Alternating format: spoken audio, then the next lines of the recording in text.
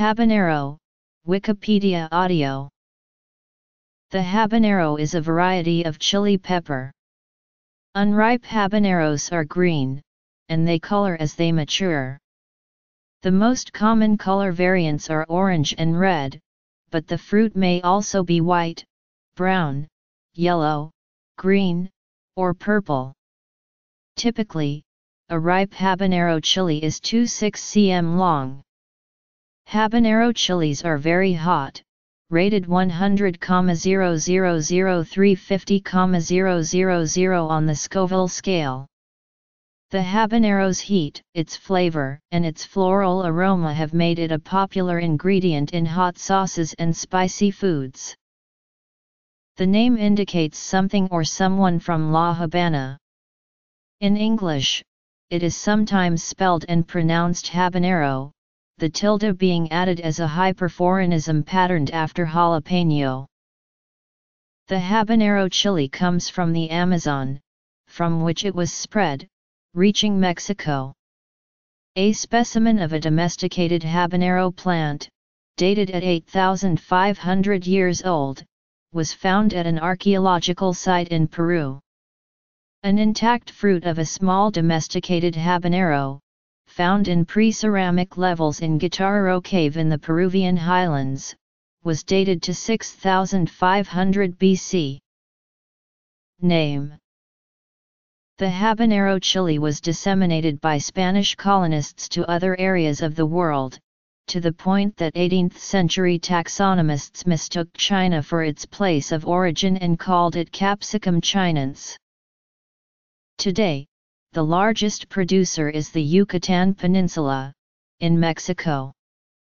Habaneros are an integral part of Yucatecan food, accompanying most dishes, either in natural form or puree or salsa. Other modern producers include Belize, Panama, Costa Rica, Colombia, Ecuador, and parts of the United States, including Texas, Idaho, and California. The Scotch bonnet is often compared to the habanero, since they are two varieties of the same species, but they have different pod types. Both the Scotch bonnet and the habanero have thin, waxy flesh. They have a similar heat level and flavor. Both varieties average around the same level of pungency, but the actual degree varies greatly from one fruit to another according to genetics, growing methods, climate, and plant stress. In 1999, the habanero was listed by Guinness World Records as the world's hottest chili, but it has since been displaced by other peppers. The Bhut jolokia and Trinidad Moruga scorpion have since been identified as native Capsicum chinense subspecies even hotter than the habanero. Breeders constantly crossbreed subspecies to attempt to create cultivars that will break the record on the Scoville scale. One example is the Carolina Reaper, a cross between a Bhut jolokia pepper with a particularly pungent red habanero. Habaneros thrive in hot weather. Like all peppers, the habanero does well in an area with good morning sun and in soil with a pH level around 5 to 6. Habaneros which are watered daily produce more vegetative growth but the same number of fruit, with lower concentrations of capsaicin, as compared to plants which are watered only when dry. Overly moist soil and roots will produce bitter-tasting peppers. Daily watering during flowering and early setting of fruit helps prevent flower and immature fruit from dropping, but flower dropping rates are reported to often reach 90% even in ideal conditions. The habanero is a perennial flowering plant, meaning that with proper care and growing conditions, it can produce flowers for many years. Habanero bushes are good candidates for a container garden. In temperate climates, though, it is treated as an annual, dying each winter and being replaced the next spring. In tropical and subtropical regions, the habanero, like other chilies, will produce year-round. As long as conditions are favorable, the plant will set fruit continuously. Several growers have attempted to selectively breed habanero plants to produce hotter, heavier, and larger peppers. Most habaneros rate between 200,000 and 300,000 on the Scoville scale. In 2004, researchers in Texas created a mild version of the habanero, but retained the traditional aroma and flavor.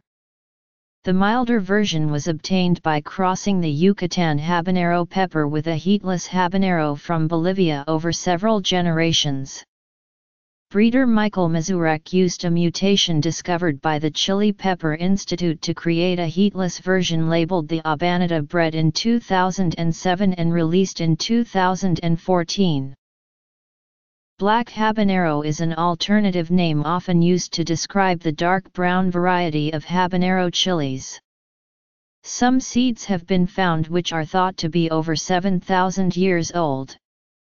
The black habanero has an exotic and unusual taste, and is hotter than a regular habanero with a rating between 400,000 and 450,000 Scoville units. Small slivers used in cooking can have a dramatic effect on the overall dish. Black habaneros take considerably longer to grow than other habanero chili varieties. In a dried form, they can be preserved for long periods of time, and can be reconstituted in water then added to sauce mixes. Previously known as habanero negro, or by their Nahuatl name, their name was translated into English by spice traders in the 19th century as black habanero. The word chocolate was derived from the Nahuatl word cocolatl and was used in the description, as well, but it proved to be unpronounceable to the British traders, so it was simply named black habanero. A Caribbean red, a cultivar within the habanero family, has a citrusy and slightly smoky flavor, with the Scoville rating ranging from 300,000 to 445,000 Scoville units. Origin and current use Red habanero chilies growing on the plant. Habanero seedling. Habanero plant with fruit.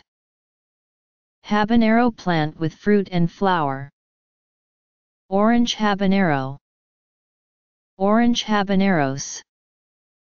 Red habaneros. Cultivation. Cultivars. Red habaneros on a plate, bought from a food store. Gallery